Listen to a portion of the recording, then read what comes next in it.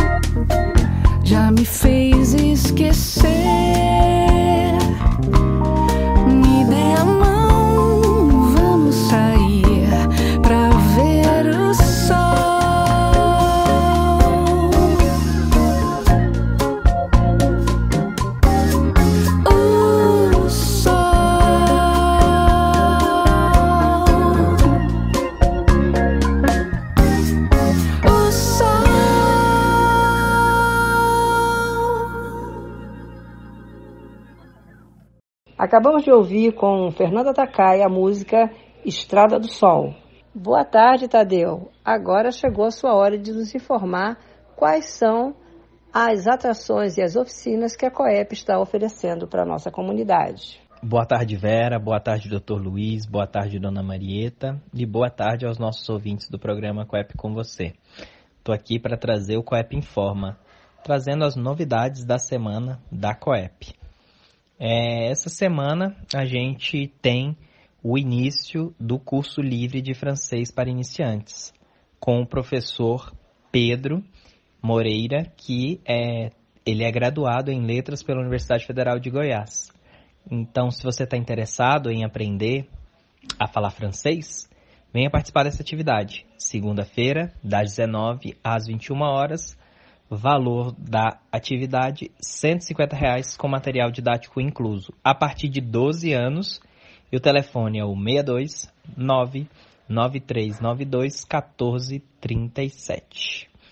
Além disso, vocês lembram que toda terça-feira é dia de quê? De Criarte. Criarte é o programa né, de educação no contraturno da escola que a COEP oferece. Esse trabalho ele é conduzido pela Isabela, pelo Vitor Batista e por outros educadores voluntários. É, e o Criarte, ele essa semana teve atividades com água, porque né, tá muito quente, então as crianças tiveram brincadeiras ligadas à mangueira. E também lembrar que toda terça-feira é dia de Cinecoep. Exibimos essa semana reflexões de um liquidificador. Semana que vem iremos exibir Que Horas Ela Volta. O Cine Coep é uma atividade gratuita que acontece às 19 horas na Coep e todos estão convidados a participar. É, é uma oportunidade de assistir o filme e conversar sobre ele. Outro projeto muito importante que a Coep desenvolve é a nossa Brigada Voluntária de manejo integrado do fogo Gavião Fumaça. E a gente, essa semana, né, postou algumas informações muito importantes, como, por exemplo, o estrago de uma fogueira. O nosso primeiro combate que a gente teve nesse ano, né, foi a partir de uma fogueira. Veja o quanto o incêndio é prejudicial às nascentes. O mapa apresenta a cicatriz do incêndio que ocorreu no mirante do ventilador no dia 19 de 7 de 2023.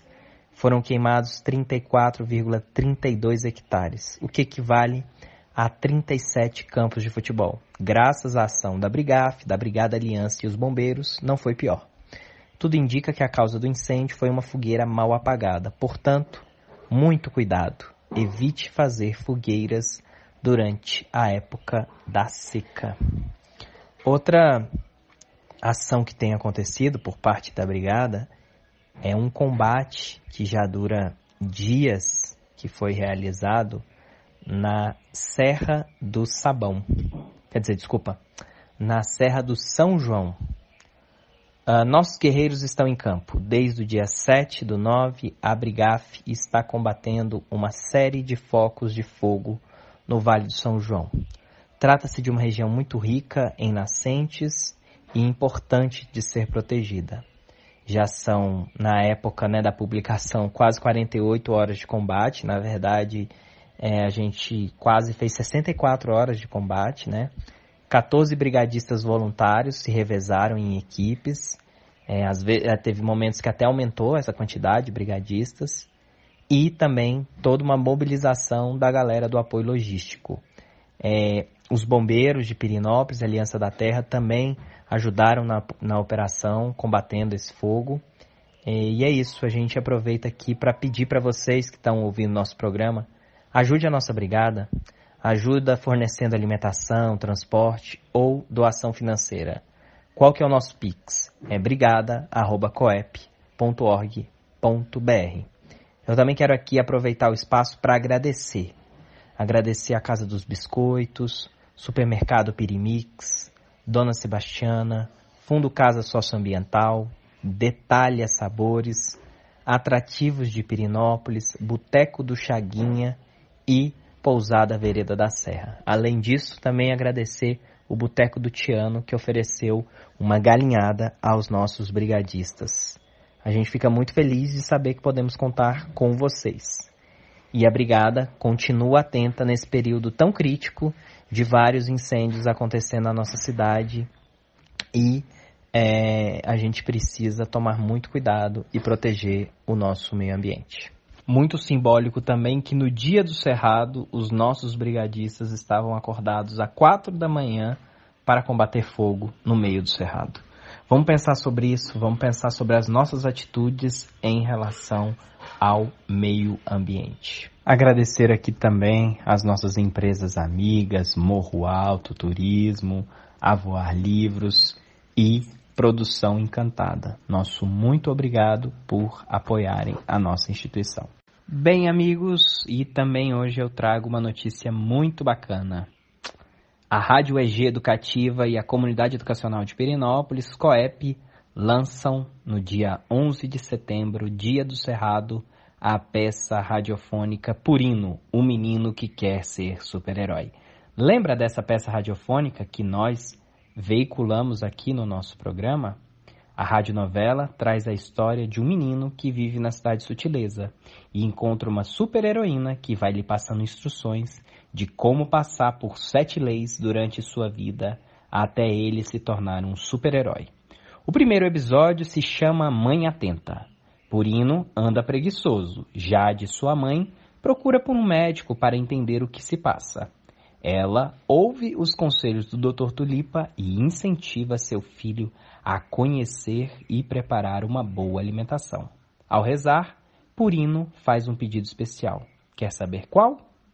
Se você quer ouvir esse episódio, vá no SoundCloud e digite Purino, um menino que quer ser super-herói, e acompanhe as aventuras do nosso personagem. É isso. Por enquanto, Coep Informa fica aqui. Continue ligado no programa Coep com você e agora é com a Vera. Até mais!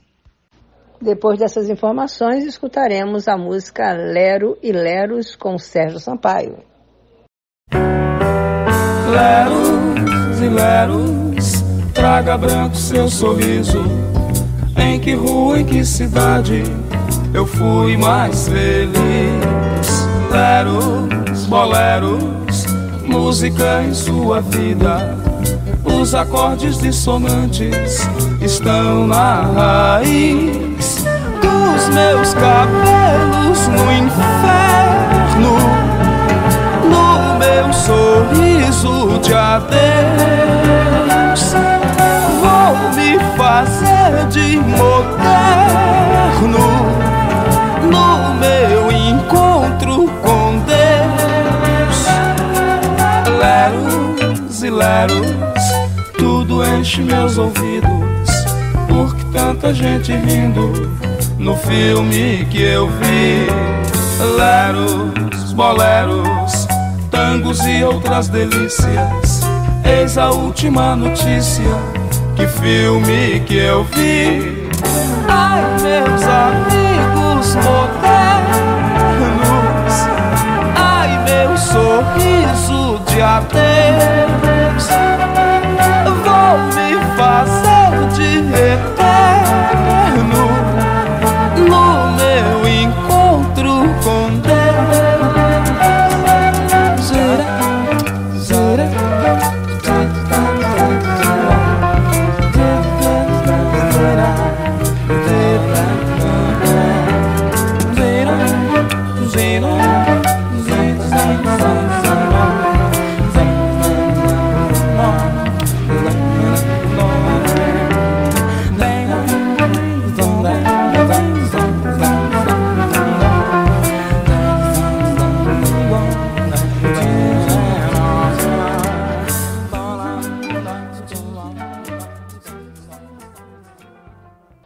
Acabamos de ouvir com Sérgio Sampaio a música Lero e Leros e Boleros.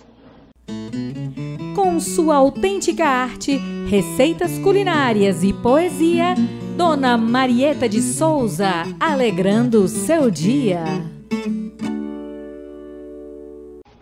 Ah, que maravilha! Poesias de Marieta, isso mesmo, isso mesmo que você acabou de ouvir. Então, Marieta, boa tarde, venha nos encantar com as suas poesias. Boa tarde para todos os ouvintes do Rádio Meia Ponte, boa tarde para todos os meus colegas de trabalho, Vera Lucena, Tadeu, Dr. Luiz e todos os ouvintes que gostam de ouvir o nosso programa Coep com vocês. É, hoje eu estava lembrando um acontecimento que aconteceu aqui em Pirinópolis, que foi muito triste para todos nós, foi o incêndio da Igreja da Matriz. Aí eu escrevi este poema. O incêndio da Igreja da Matriz. A nossa igreja foi incendiada e o fogo foi queimando, queimando e o teto foi caindo. A nossa igreja foi destruída. Os senhores, corpo de bombeiro, o fogo foi apagando e quanto mais jogava água, mais o fogo queimava. Mas quem ajudou a apagar aquele incêndio foi a água das águas dos olhos de todos nós perinopolinos, dos velhos, dos jovens, dos meninos, que apagou aquele triste incêndio da madrugada do dia 5 de setembro de 2002. Até as pombinhas, andorinhas, corujas, morcegos que ali moravam, saíram voando, voando, todos sem rumo e sem ter direção. Não sabemos onde eles foram procurar outra morada e proteção. O sino da igreja da matriz caiu pelo aquele fogo ardente. O Senhor, aquele fogo ardente, e o Senhor Teodorico Pereira, senhorico, que chamava os nossos fiéis, tocava aquele sino, chamava os fiéis para assistir a Santa Missa, para nós fazer as nossas orações.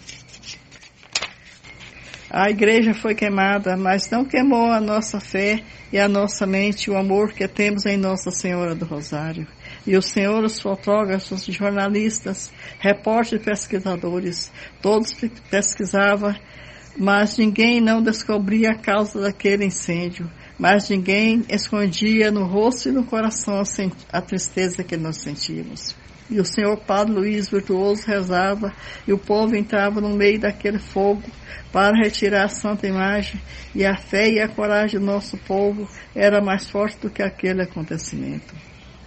Ninguém ficou ferido e nem queimado, porque todas aquelas gente estava protegida sob o divino manto de Nossa Senhora do Rosário.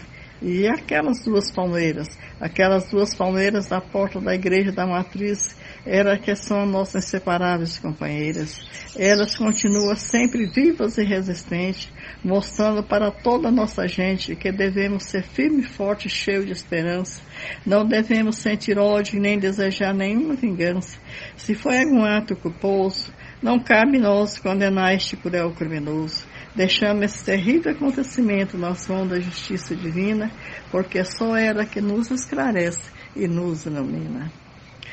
Quero também, é, hoje é o aniversário da nossa grande amiga Isabela Rolf. Quero dar um grande abraço para essa grande pessoa que, que todo mundo admira Então, Isabela, que Deus dá muitos anos de saúde para você, muita felicidade e você que você continua sendo sendo essa grande pessoa que você é. Parabéns para você. E boa tarde para todos os ouvintes e até quinta-feira, se Deus quiser.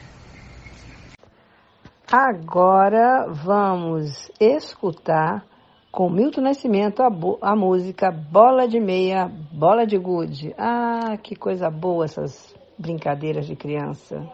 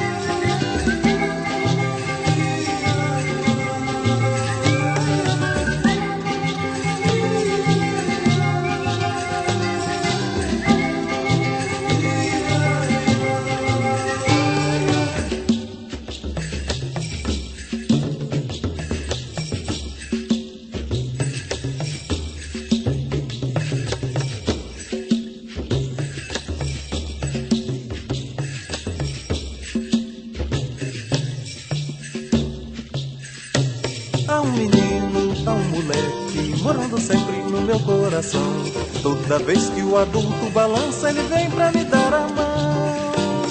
Há um passado no meu presente, um sol bem quente lá no meu quintal.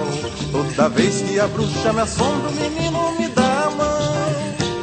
E me fala de coisas bonitas que eu acredito que não deixarão de existir. Amizade, palavra, respeito, caráter, bondade, alegria e amor. Pois não posso, não devo, não quero viver como toda essa gente insiste em viver. E não posso aceitar sossegado qualquer sacanagem ser coisa normal. Bola de meia, bola de gude, o solidário não quer solidão. Toda vez que a tristeza me alcança, o menino me dá a mão. Há um menino, há um moleque, morando sempre no meu coração. Toda vez que o adulto fraqueja, ele vem pra me dar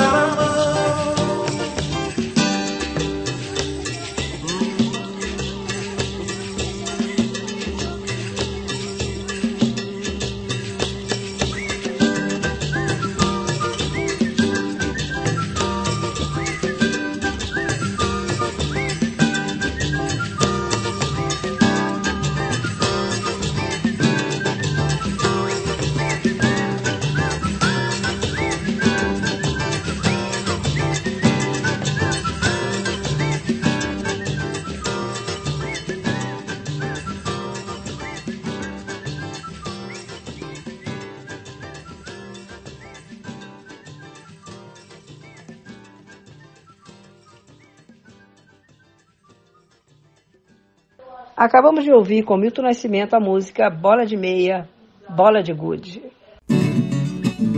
Alô, alô, responde, doutor, responde. Conversa com o doutor Luiz, trazendo dicas sobre saúde para você e sua família. Depois dessa vinheta, você já sabe quem nós vamos receber agora. Então, boa tarde, doutor Luiz, tudo bom? Boa tarde, Vera, dona Marieta, Tadeu e ouvintes da Rádio Jornal Meia Ponte. No último programa a gente falou sobre as vitaminas lipossolúveis, que são as solúveis em gordura. Uhum. Hoje vamos falar das vitaminas hidrossolúveis, que são solúveis em água. Que são as vitaminas do complexo B, que é B1, B2, B3, B5, B6, B7, B8, B9, B12. E B10, B10 e B11 não, não tem? Não. não. Ah. E a vitamina C. Certo. As vitaminas hidrossolúveis não podem ser armazenadas no corpo, tornando mais raros os casos de hipervitaminose. Por outro lado, isso também faz com que sejam absorvidas e excretadas rapidamente, tornando necessária sua presença na alimentação. Uhum. Através dos cereais, frutas, vegetais, laticínios, leguminosas, carnes, peixes, ovos. E havendo uma carência, pela, podendo haver carência pela baixa ingestão de alimentos, gravidez, aleitamento, consumo excessivo de bebidas alcoólicas, má absorção intestinal através, por, ou por cirurgia bariátrica, ou por doença do intestino, como a doença de Crohn, e também alguns remédios em usos prolongados, como antibióticos, anticonvulsivantes, anticoncepcionais orais, e algumas alterações genéticas que são mais raras. O fato de não causar uma hipervitaminose não significa que sua suplementação, que é o uso de, de cápsulas, né, com as vitaminas, não traga riscos. Né? Por exemplo, uma suplementação de complexo B elevada pode causar diarreia, problemas de fígado, vermelhidão na pele, alterações dos batimentos cardíacos. O uso de alguns medicamentos, como o exemplo levodopa, que é um medicamento para Parkinson, pessoas com diabetes, como sempre as mulheres grave, ou em, grávidas ou em amamentando, devem ter orientação dos seus médicos. E, além disso, problemas de alergia a determinadas vitaminas e também outras substâncias que muitas vezes tem nos suplementos, tais como corantes, né, estabilizantes, outras substâncias químicas. Uhum. A vitamina B1, que é chamada tiamina, ela tem função de liberar energia dos carboidratos, gorduras e álcool. Então, você, a maior parte das vitaminas tem essas funções também. Né? As fontes de vitamina B1 são germe de trigo, ervilha, levedura, cereais vitaminados, né, que, de, que é usado muitas vezes na alimentação é, matinal, né, que são produtos industrializados. Amendoim, fígado, batatas, carne de porco e de vaca, fígado, leguminosas. Uhum. Eu já chamo a atenção que o germe de trigo e esses cereais vitaminados vão ser, vão ser encontrados em todos esses tipos dessas vitamina B. Uhum.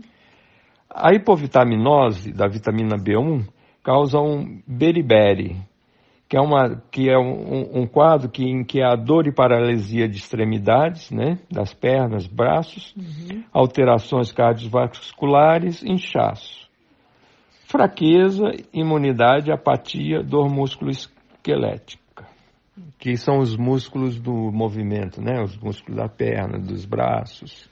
Você me falou agora do germe de trigo. Normalmente as pessoas falavam para mim que o germe de trigo era rico em vitamina E.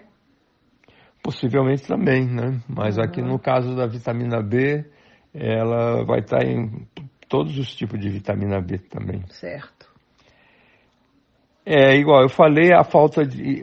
Esse é dos casos que o uso do alcoolismo traz carência, que é a vitamina B1 também. Uhum. A hipervitaminose da B1, o excesso de vitamina B1, pode interferir na, na absorção das outras vitaminas do complexo B. Uhum. Né? Então, essa foi a B1.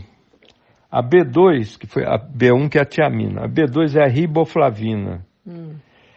As funções, né, também disponibilizar energia dos elementos, ajuda no crescimento das crianças, restauração e manutenção dos tecidos. Certo. As fontes, laticínios, fígado, o fígado também, né, ele é rico em vitamina do complexo B, todas elas praticamente têm. Uhum. Peixes, o germe de trigo, os cereais vitaminados, peixes, oleosos, ovos, amêndoas, semente de abóbora, vegetais. A hipovitaminose da vitamina B2 causa rachaduras no canto da, da boca, hum. glossite, que é uma vermelhidão e inchaço da língua, visão turva, fotofobia, que é a dificuldade de enxergar na claridade, hum. descamação da pele, dermatite seborreica. Hum. A gente vai ver também que o complexo B está muito ligado também à pele né, a manutenção, a saúde da pele também. Certo. B3 é a cianina. Tem a tianina. Ou oh, niacina, aliás. Ah, tá. A B3 é a niacina, também função de produção de energia, né? E eliminação de toxinas. Uhum. Por isso você vê a carência de vitamina no geral da moleza, né? Desânimo, uhum. apatia, porque uma das funções básicas da vitamina é liberar essa energia para ser usada nas, pelas células, pelos tecidos do organismo. Quer dizer que a vitamina B é fonte de energia. Fonte de energia. A, a B3, ela se encontrada nas carnes magras, fígado, peixes, oleosos, cereais vitaminados, laticínios, ovos. Né? A hipovitaminose, que é a diminuição da vitamina B3, vai causar uma fraqueza e uma pelagra, que é uma dermatite é, que, não, que é uma alteração da pele, inclusive com descamação, ressecamento da pele. Uhum. Podendo levar também a diarreia, demência, confusão mental. E apatia. E apatia. Certo. A B5 é o ácido pantotênico. Função: transformar a energia das gorduras, proteínas para o organismo, né? Uhum. E também são substâncias essenciais para os hormônios. Certo. As fontes são o fígado, rim, germe de gema de ovo, germe de trigo, amendoim, nozes. Aqui aparece também o abacate. Certo. Que também é rico em vitamina A. Também é rico em vitamina A. Uhum. Hipovitaminose da B5 causa as doenças musculares, cefaleia, câimbras e náuseas. Hum. Né? Além da, da, pele, né, os músculos né, também tem muita alteração, né? Músculo e sistema nervoso também hum. tem muita alteração com, a carência né? de vitaminas B. Uhum. A B6 é a piridoxina, hum. Que ela tem uma função junto ao sistema nervoso central. Oh e também nos metabolismo de lipídios, transporte de aminoácidos na membrana celular. Os aminoácidos vão ser alimentos para as células, né? Uhum. As fontes, germe de trigo, a batata também. Batata tem uma quantidade. Batata de, inglesa? Batata inglesa, de algumas vitaminas do complexo B. É, né? É, castanha, noz, peixe, banana. A hipovitaminose né, da piridoxina vai dar anomalia do sistema nervoso central, desordens da pele, anemia, irritabilidade e até convulsões. Hum. A B6 ela pode causar uma hipervitamina, hipervitaminose, causando uma ataxia, né, que é um desequilíbrio né, e, e dificuldade da coordenação motora, hum. e neuropatia sensorial, quer dizer, doenças do nervo que diminui a sensibilidade, por exemplo, das pernas, nos braços, mãos, pés. Então, por exemplo, quem tem um, aquela doença, como é que chama, meu Deus do céu? Hanseníase, deveria usar. Não, a hanseníase tem que tratar da hanseníase. Sim, mas assim, como suplemento, a vitamina B... B Também ajuda, B, né? Porque B6 seria importante. Também ajuda. Uhum. Uhum. Mas o mais importante mesmo é o tratamento, tratamento geral. Certo. É. É, a B7, que é a biotina, a B7 e B8, que é a biotina e a colina, elas estão muito ligadas também à, à questão dos cabelos, da pele e das unhas. Hum. Né? Ela, as fontes é o fígado, carnes, ovos, né? E, e a hipovitaminose vai dar uma dermatite, nos nariz, boca, que é a alteração da pele, né? Quedas de cabelo e unhas fracas. B7. B7. Uhum. A B8, ela forma, ajuda a formação da acetilcolina, que é um neurotransmissor. Então ela atua muito junto ao sistema nervoso, né, facilitando o, o funcionamento dos nervos, uhum. ajudando na memória, contrações musculares, humor. As fontes, carnes, peixe, laticínio, ovos. Né? A hipovitaminose vai dar também lesões nos músculos e fígado. Certo. A B9, B9 é o ácido fólico.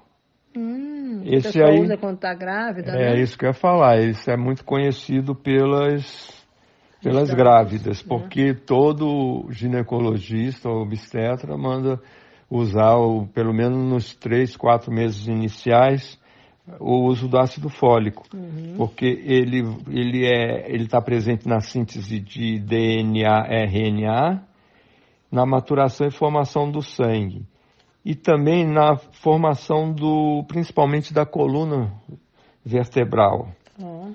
né, que facilitando para que não haja é, falhas no desenvolvimento da, da coluna, né? Uhum. As fontes é fígado, vegetais, folhosos verdes, é, leguminosas, amendoim. A hipovitaminose, além da, dessa malformação do tubo neural, né, que é na coluna, uhum. é, pode causar problemas de crescimento e um tipo de anemia que é megaloblástica. Assim como a vitamina B12, que nós vamos falar agora, que é o cobalamina que tem a função dos metabolismos também dos aminoácidos e formação das hemoglobinas, que são as células vermelhas. Uhum. Atua também na formação dos neurônios, também com uma boa atuação junto aos neurônios.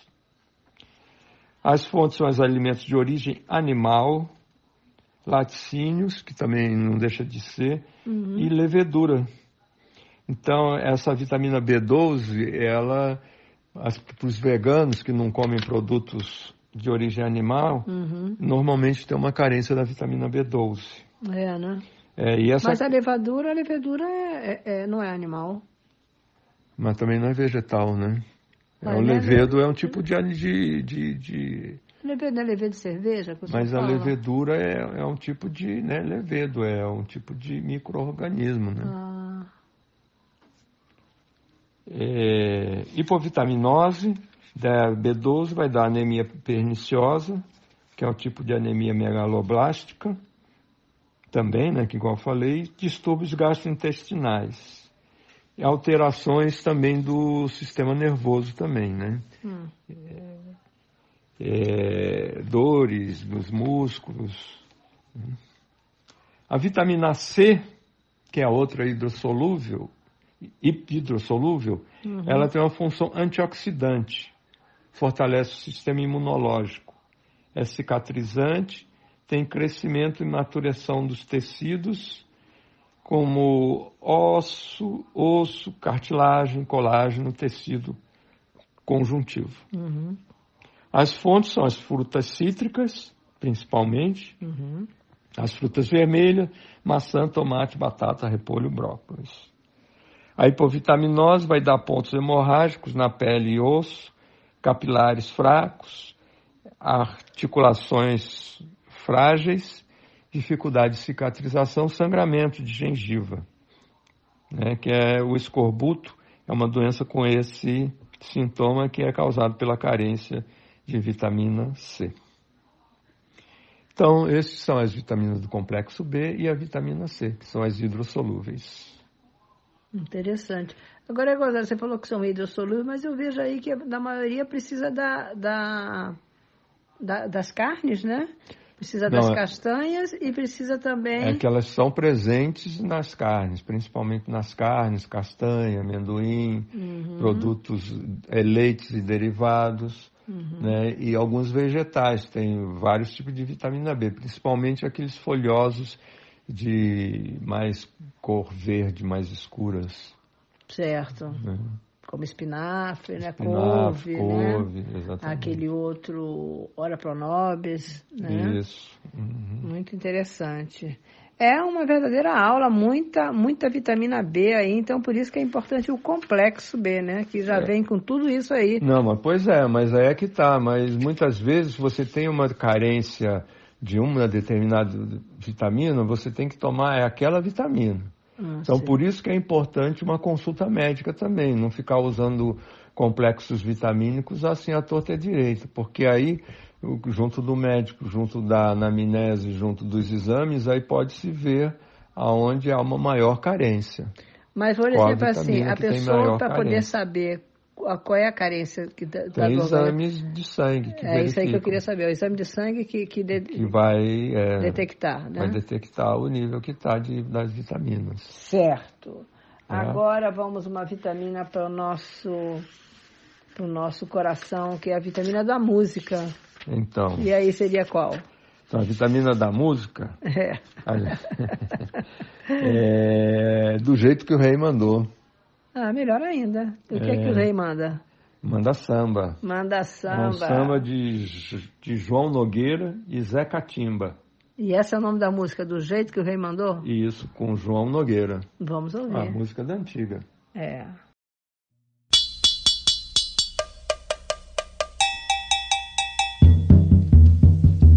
sorria. Meu bloco vem, vem descendo a cidade. Vai haver carnaval de verdade.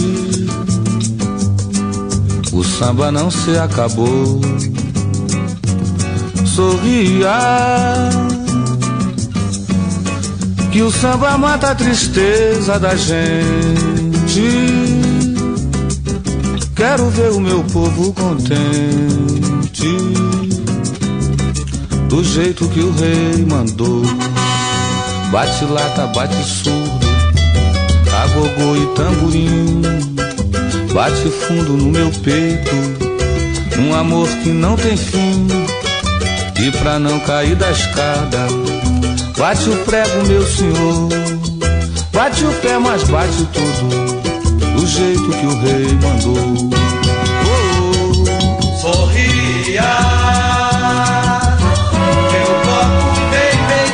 Descendo a cidade. Vai haver carnaval de verdade.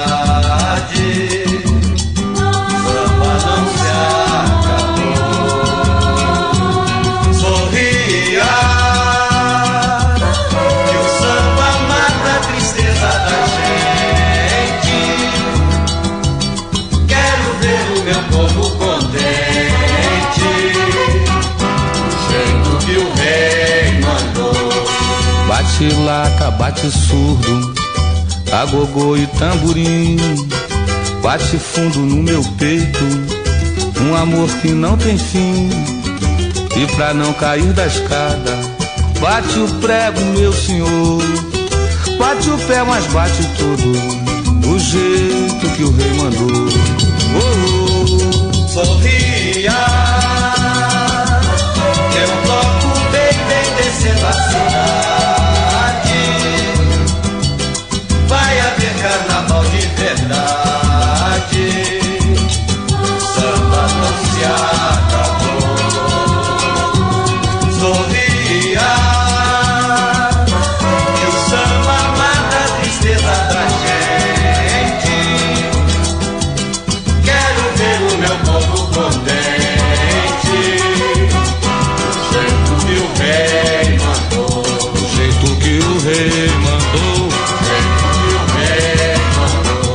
rei mandou. Do jeito que o rei mandou. Do jeito que o rei mandou. Do jeito que o rei mandou. Do jeito que o rei mandou. Acabamos de ouvir com João Nogueira a música do jeito que o rei mandou. É, dicas do Dr. Luiz. Dr. Luiz conhecia essa música. Conhecia? Conhecia. Conhecia. Muito boa, por sinal. Isso. E agora chegou a hora da sua despedida. Tá certo, então. Então, há um bom fim de tarde para todos. Uma boa semana com muita saúde, paz e até quinta-feira que vem. E como diz o- a música logo no começo, sorria Sorria. E muita água. e muita água. Até mais, doutor Luiz. Dando continuidade ao nosso programa Coep com você, vou trazer para você uma curiosidade. E aí é que a gente vai ver a importância das orações. Muitas pessoas, às vezes, quando estão doentes, a gente fala, vou rezar para você. E depois, quando a pessoa se recupera, a pessoa, a primeira coisa que faz é agradecer pelas orações. Então, você vai entender um pouquinho mais sobre a importância da oração na nossa vida. Vamos ouvir? Aprovado que ele cresce. Olha aí. E a prova que ele cresce. Ah, lembra aquela história? Neurônio não se reproduz, né? Neurônio não se divide. Depois de um certo tempo você não aprende nada. Isso é tudo balela, né? Tudo balela, o neurônio se reproduz, ele precisa ter estímulo. Senão não tem necessidade. né? Por que, que a pele se reproduz? Porque eu preciso estar sempre trocando. Mas se só aqueles neurônios estão fazendo a sua função, eu não preciso reproduzir. Né? Então, como que eu reproduzo o neurônio? Quando eu preciso dele, quando eu estimulo ele. E como que eu faço para estimular o meu lobo pré-frontal, que é o lobo da decisão? Acredite se quiser, eu me surpreendi ao estudar isso e realmente tomei um, um, um grande choque com oração. Não existe nada que aumente o fluxo sanguíneo para o lobo pré-frontal, que é o lobo da decisão, do que a oração.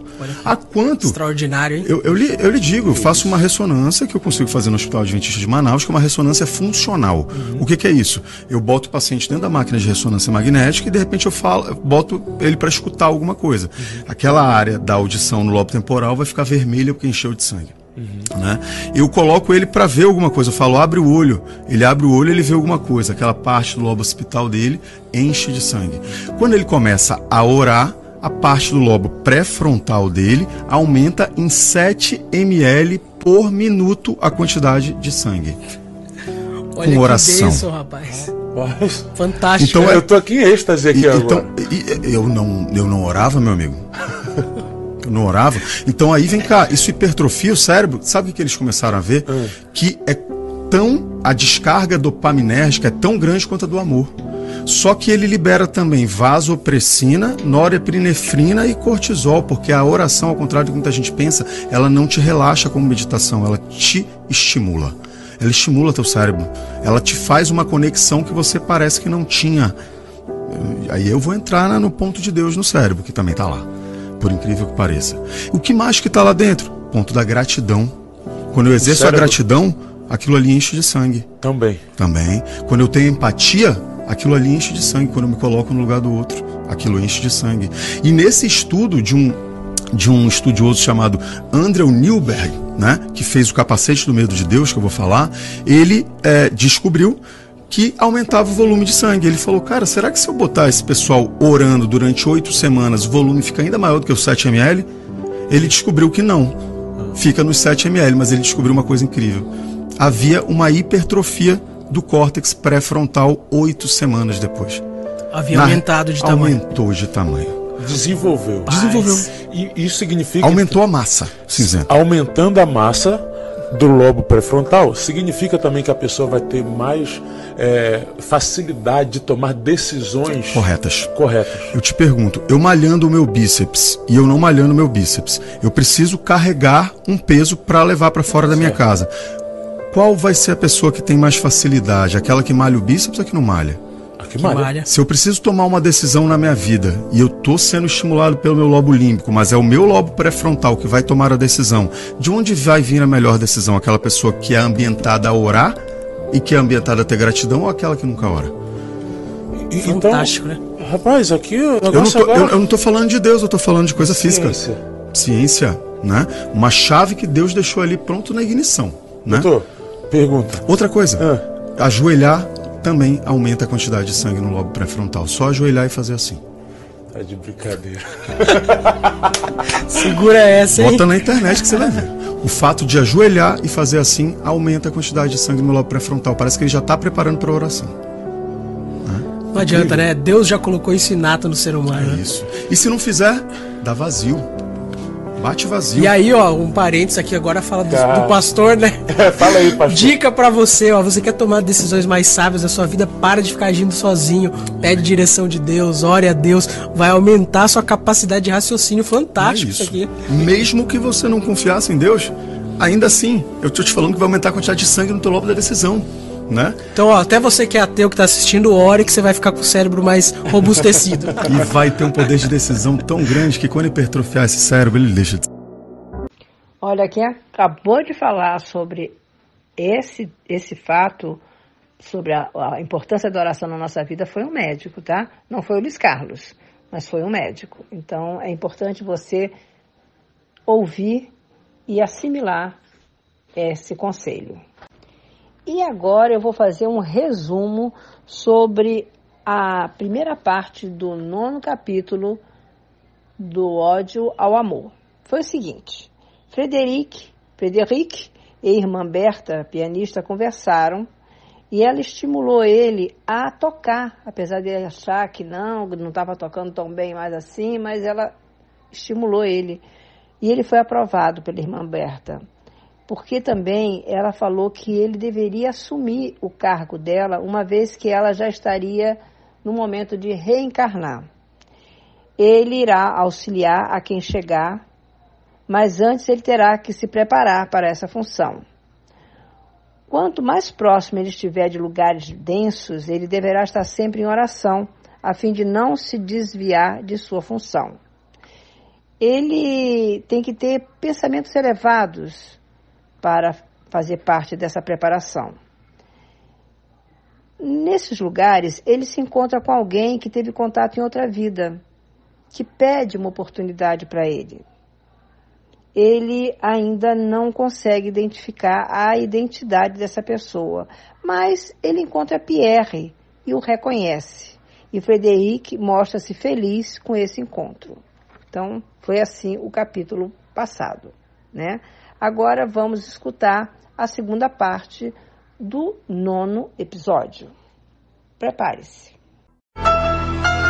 Voltamos a apresentar a minissérie Do ódio ao amor.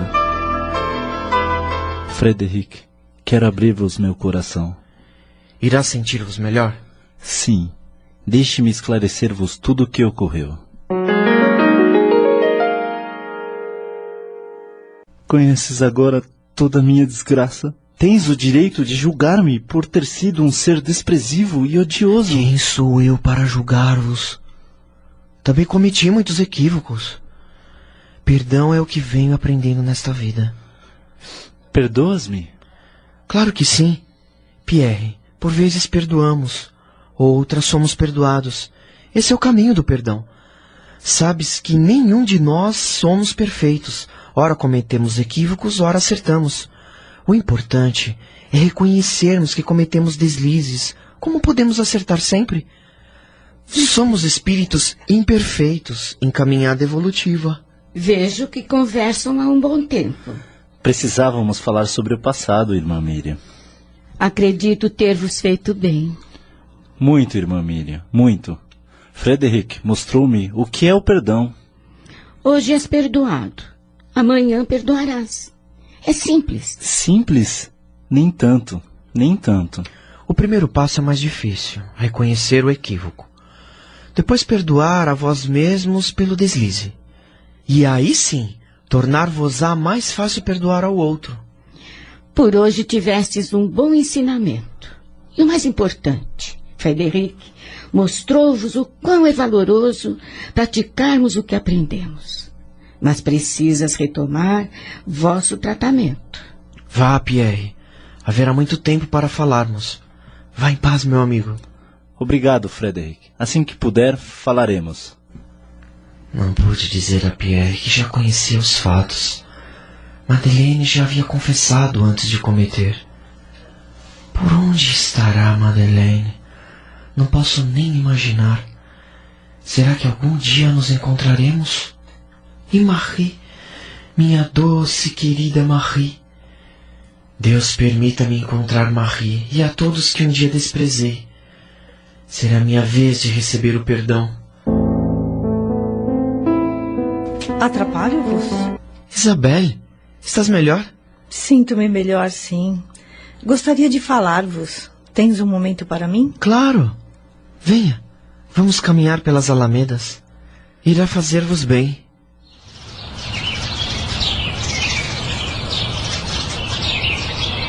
Frederic, desde que aqui cheguei, a minha consciência está mais clara e clama por reparação. Precisava ver-vos, olhar para vós e dizer-vos o que ainda não consegui dizer a mim mesma. Compreendo-vos. Trazemos dentro de nós sentimentos enraizados que não nos deixam enxergar, não nos deixam escutar e somente nos limitam a vivenciar o nosso egoísmo. Estás correto. A cada dia mais aprendo que somos espíritos em busca de conhecimento e correção e que não podemos fugir dos equívocos cometidos. Então começo a despertar para o amor ao próximo. E até onde esse amor poderá levar-me? Em breve saberás. Quando estiveres em condições de exercer esse amor, a tarefa surgirá. E aí irás encontrar o vosso caminho no auxílio aos necessitados. Quero ser como estes assistentes do posto socorrista, que nos acolheram com amor, sem perguntarem o porquê de nossas dores, de nossos sofrimentos. Frederic, quando irás voltar às regiões necessitadas de auxílio? Isabelle, ainda não sei. Mas meu coração diz-me que será em breve. E sinto que encontrarei aqueles que abandonei pela ambição adquirida e sustentada em várias existências. Seriam François e Marie? É neles que penso sempre. Preocupo-me em como devem estar. Anselmo, também estás a passear pelas alamedas? Em verdade, sabia que iria encontrar-vos aqui. Algum assunto a requerer urgência? Em alguns dias devemos partir em nova excursão e é fundamental que estejas preparado. Ao que falas, iremos a uma região muito densa? Frederic, a região a qual iremos é mais distante e muito mais densa do que já estivemos. Portanto, exigirá de nós um preparo especial, porque o envolvimento será maior. Então vim buscar-vos para começarmos o preparo. Vá, Frederic, e prepara-vos para essa tarefa de amor.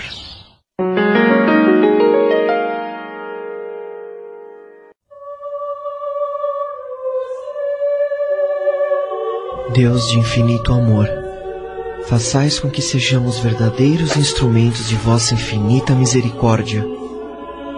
Que nossos olhos possam enxergar o que nossas imperfeições ainda teimam em obscurecer com o véu de nossas limitações. Permitas, Pai, que a luz e a paz envolvam os corações de todos que precisam, assim como a nós mesmos.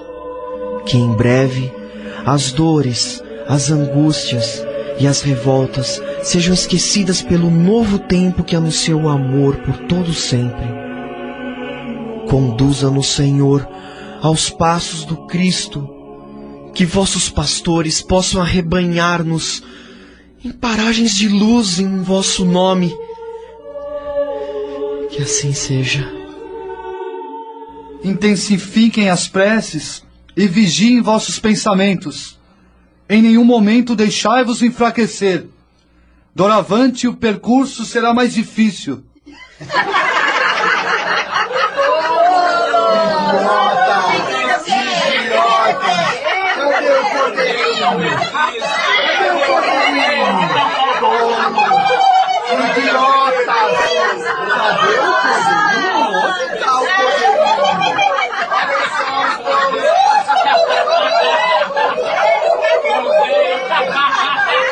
Altíssimo, concedas a todos nós, obreiros da luz, a sabedoria, a força e a luz para conduzir-nos nesta tarefa. Ora, ora, ora, se não é Frederic Barson. Agora é um dos anjos do Cordeiro. não conhecem Frederic Barson? Egoísta, prepotente, arrogante, um inútil que não conseguiu ser mais que um reles músico. Conhecem-me, sabem dos meus equívocos. Frederic, recorra às preces. Eleve vossos pensamentos. Ah, Pai de infinito amor, dai-me a força do vosso amor para que possa passar por mais esta provação. Equivoquei-me, Pai, e devo reconhecer meus deslizes. Mas guiai-me, Pai amantíssimo, com a vossa luz e vosso perdão.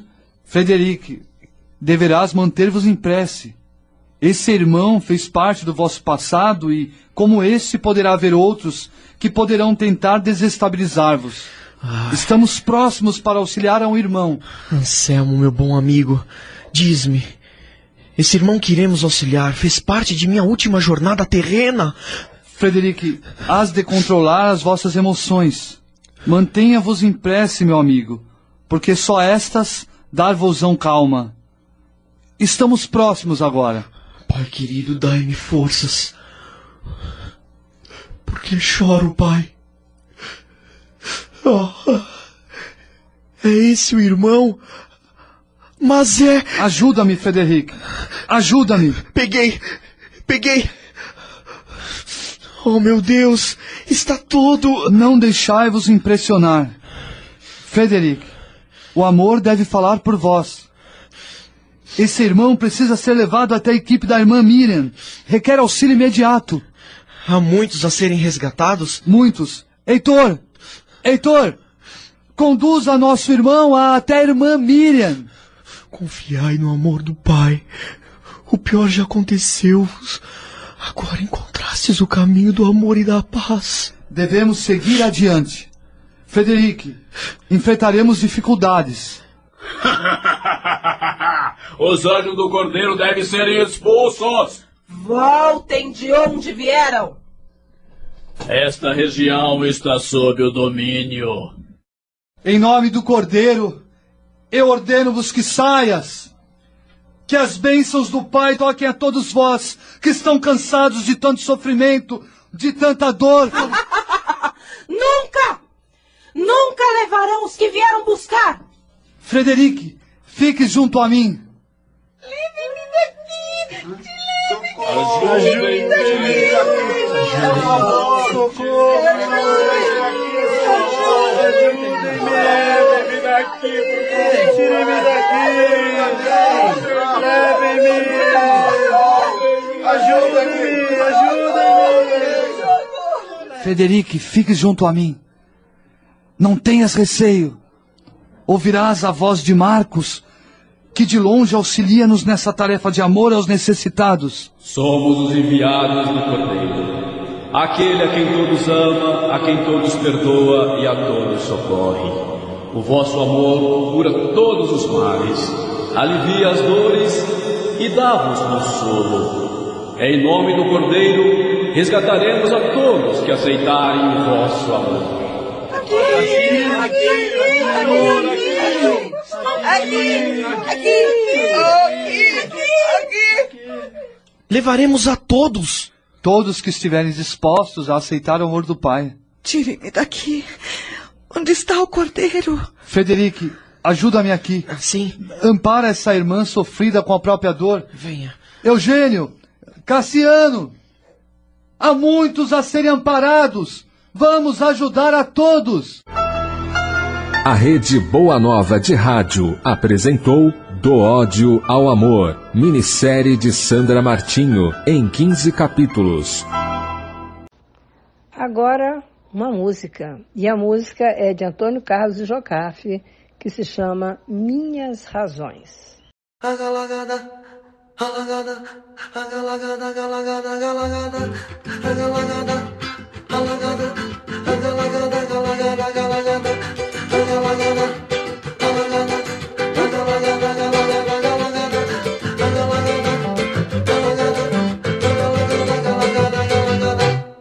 Tenho cá minhas razões pra abandonar esse carinho mal arrumado. Naturalmente nem pensou que o nosso amor anda vencido e protestado. Cheguei à triste conclusão dessa união e aposentei Abasteceu de ingratidão um coração tremendamente apaixonado.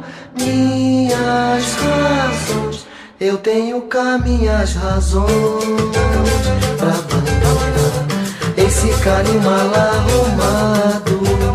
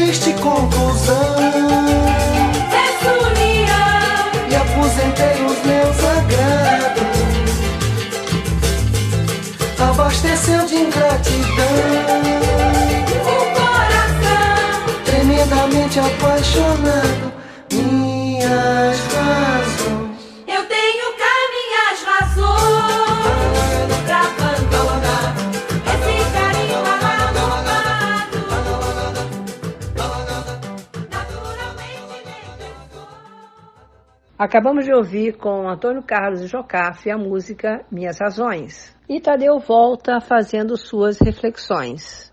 Vamos ouvir?